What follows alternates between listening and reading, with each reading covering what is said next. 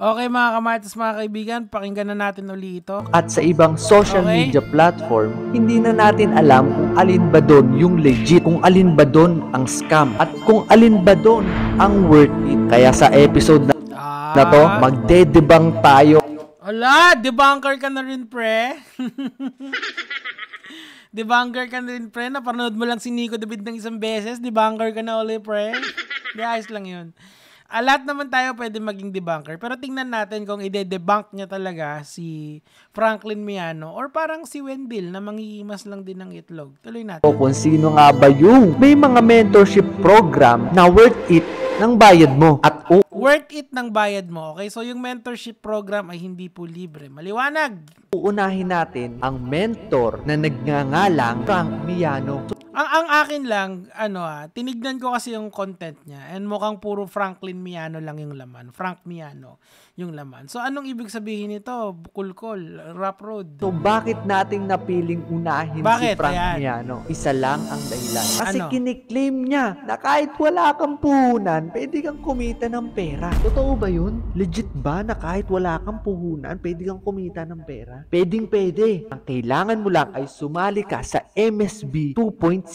Oh, eto lang ah. So yung mentorship may bayad, 'di ba? Sabi mo kanina, may bayad yung mentorship. Kasasabi mo lang kani-kanina 'yon.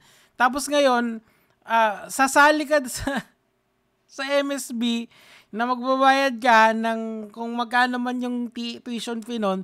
Tapos ngayon, i-claim mo na kikita ka ng pera, sumali ka lang doon. Ay, eh di ibig sabihin, eh di ibig sabihin, simula pa lang na-debunk mo na agad yung sarili mo, kinausap mo pa yung sarili mo, hindi naman pala consistent din. Ano ba yan, boy? Sabi ko sa'yo, bago ka mag-invest kay Franklin Miano, baka pwede muna kay Vicky Bello, tuloy natin. So ganun ang kanyang sinasabi, Okay. lalong-lalo na sa TikTok. Kaya ngayon, aalamin natin kung talaga bang worth it yung MSB 2.0, no? O Ah, diba? Isa siyang scam, Ponzi scheme, or malay Okay. natin, totoo naman talaga. So sabay-sabay natin tuklasin yan sa Okay, so ah, paano ba malalaman kung isang Ponzi scheme, yung isang ah, ang isang ang isang organisasyon or yung isang investment? Una, ah, may guarantee sa na may babalik. Na tapos wala naman silang produkto.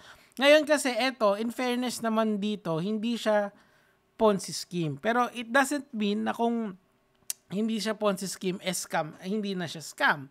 Right? Kasi kung academy siya, or uh, sinasabi niya na school siya, dapat may lisensya ka, magturo. Hindi pwedeng libre. Hindi pwedeng libre, hindi pwedeng tupalo yung lisensya. Tuloy natin. video na ito kung talaga bang karapat dapat na tawagin si Frank Miano isang mentor o isa lang nagme-mentor-mentoran at gusto lang kumita Mentor pala tawag doon. Kala ko ba coach? ng Ano ba pinagkaiba? pera. Oh. So anong plano? Una, pupunta tayo sa MSB 2.0 na Okay. sinasabi niya na mentorship program daw na kung saan kikita ka ng pera kahit wala kang kapital. So, eh di ma- So, sa okay. paghahagilap ko sa MSB 2.0, nakita ko na nagkakahalaga ito na tumapaginting na 6,000 plus something. Hindi mo alam basahin yung 6,987? Puta, parang sa school ka dapat bumalik eh. Yung 6,000... ah, yung 6,987, hindi mo kayang i-pronounce, ni hindi mo kayang i-round off sa 7,000 pesos. Tapos gusto mo maniwala kami sa iyo na hindi... So maglalabas ka ng kapital kasi magbabayad ka dun sa MSB eh. So hindi totoo na wala siyang kapital. So simula pa lang, nagsisinungaling ka na. Kasi sabi mong ganon, or kung hindi ka nagsisinungaling, dinibunk mo yung sarili mo. Kasi sabi mong ganon, na walang kapital. Pero na, nakikita ka ng walang kapital. Eh anong tawag mo dun sa 600, ah, na 6,987 pesos? Anong tawag mo dun? Hindi ba kapital yon para makasali ka sa MSB?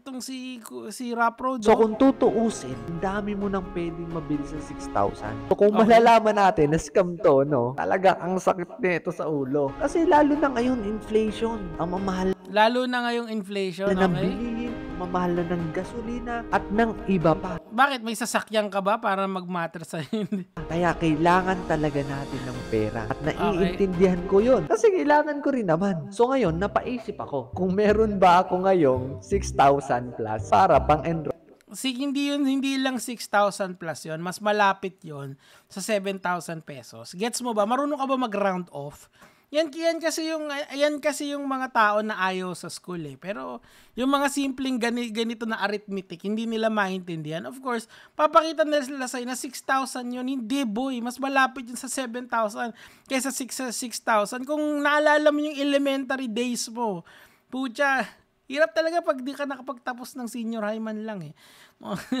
Tuloy natin. Sa MSB 2.0. Since hmm. hindi pa nga tayo kumikita dito sa YouTube channel at iba pang platform na pinag-uploadan natin ng video, wala pa tayong puhunan or pwedeng perang ilagay para maka-enroll sa MSB 2.0. Okay. Kaya papakitaan ko kayo, i-challenge natin si Frank Miano kung kakasaba siya at bibig Teka lang, so wala kang pera pampuhunan pero kasasabi mo lang nakikita ka sa MSB Academy nang walang puhunan. So anong ano yung totoo doon, Rap Road? Putang ina naman talaga nakakainis naman tong bata na to.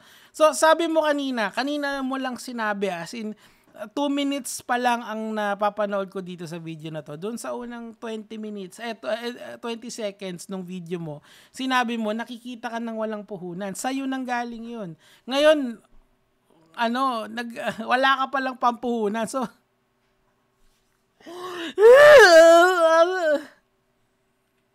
o ngayon, i-challenge mo si Franklin Miano. Eh, yun lang pala yung kailangan para makalibre. I-challenge si Franklin Miano. Eh di, eh di wag na kayong mag-enroll. I-challenge nyo na lang. Bakit ka ba nag-special sa kanya? Kasi marami kang tigyawat. Kasi yung tigyawat mo, pag piniga, may lalabas na ginto. O kaya yan yung papalit sa oil kapag ubus na? Yung ba yun? Ganyan ba tayo ng free oh. access sa MSB 2.0 na sinasabi niya? At syempre gagawin free natin... Free access! So, ibig sabihin, yung iba, nagbabayad pa rin. Nang tutya naman talaga to. Tinumbes natin para malaman oh. kung totoo ba yung nakikita ka talaga ng pera sa mentorship program na yon. After many days, ni-research ko kung sino nga ba si Frank Miano, kung ano ba oh. ang ginagawa niya sa buhay, kung ano ba ang pinagkakabalahan niya, kung may negosyo ba siya, or kung ano ba ang M- bakit si hindi ba da ang importante dito yung yung laman ng MSB hindi yung mismong nagtuturo. Yung content, like for example, nagtayo ako ng eskwelahan. Hindi naman importante doon yung yung ano, yung teachers lang. Yeah, they are in an integral part of the school, pero hindi lang 'yon ang importante. Importante din doon kung ano yung curriculum na ginagamit nila. Importante doon kung ano yung teaching methodology nila, yung philosophy nila. Maraming importante doon eh. Hindi na nagre-revolve sa isang tao, gets mo? Hindi ko, hindi ko dinidis yung mga teacher. Ang sinasabi ko lang, ang, ang school, hindi multifaceted yan. Hindi lang isang tao yung importante dito. Bakit kay Franklin Miano umiikot yung mundo mo? Kayo na ba? Tuloy natin. Oh. 2.0 na kanyang ginawa. Basically, si Frank Miano, isang bata pa rin. Nasa 20s pa rin siya. At meron siyang, sabihin na nating marami na rin siyang business. Pero syempre, hindi natin okay. alam kung legit yun. Hindi natin alam kung gawa-gawa niya lang yun. Eh di, dapat ni-research mo muna bago ka nag-vlog. Hindi ba dapat mas maganda yan? Mag-research ka muna. Tapos tignan mo kung, uh, kung legit ba lahat. Kasi kami nagre-research muna kami. Alam na namin yung karakas nyo eh. Alam na namin yung galawan nyo. Actually, etong video na pinapanood ko na to, one year ago to. So, kaya nga nandito tayo eh. Kaya oh. nga nanonood sa video na to kasi gusto mo rin malaman. Parehas tayo ng pakay dito. After back... Hindi, napanood ko na lahat ng videos nyo. Sinisiwalat ko lang yung mga kasinungalingan nyo sa mga tao. Okay, sabi, sabi mo, wala kang kailangan puhunan, kikita ka. Eh, yung pala, kailangan mo ng 6,000 plus. 7,000 yon pag ni-round up mo, bobo. Pukin ng ina neto. Tanga-tanga lang eh. Back and forth na mga message namin ni Frank Miano ay na Napa-agree ko siya na bigyan niya ako ng access sa MSB.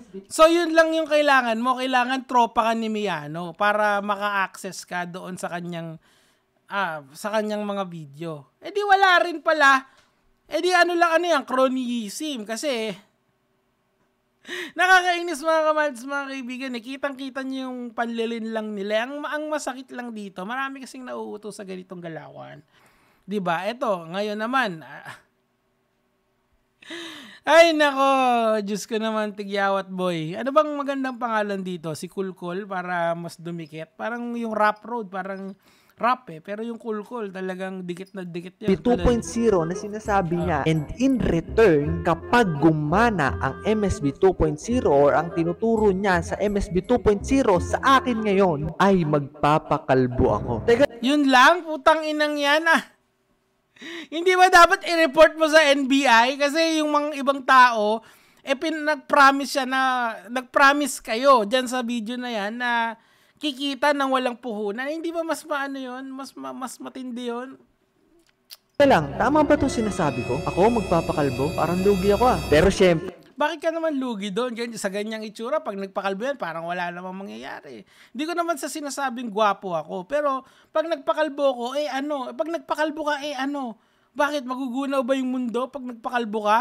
Pucha naman talaga. Parang ano, parang big deal yung pagpapakalbo mo ah. Kahit ahitin mo lahat ng buhok mo sa katawan, ganun ka pa rin. Mm. Na itong mga tao na to talaga, kahit ano talagang pang... Alam mo yan yung ultimate shield ni Franklin Miano tong si ano eh, si Kulkul eh. pre, wala tayo 6K eh. Kaya nga natin gusto Hindi hindi lang 6k yung kailangan mo doon, okay? 6k plus 987 pesos or ah, kailangan mo pa na halos ng isang libo doon, okay? Halos yung operative word, ha? gustong malaman kung effective ba to para magkapera tayo, di ba? Alam mo, Oh, ibig sabihin, guaranteed ROI pag sumali ka doon. Oh, di Ponzi nga siya kung ganun. 'Di ba? Kasi sabi ang, ang isa sa ano sa ang isang ang isang Ponzi scheme nagagaranti yun ng ROI. Tapos wala ka naman talagang produkto na ibinebenta. Eh dito, ah, ano, sinabi niya, guaranteed daw na may ROI, narinig niyo sa kanya. 'Di ba? Da para kumita ako, wala akong 6k eh. So libre. Oh, kasi tropa mo. Mm, aminin. Anyway, mga kamads, mga kaibigan, hanggang dito na lang muna tayo. Puputol-putulin natin to. Kasi mahaba-haba ito eh. Ayoko naman kayong mabore. Panoorin niyo yung video niya, hanapin niyo, cool cool. Cool cool 2.0. Gege mga lods.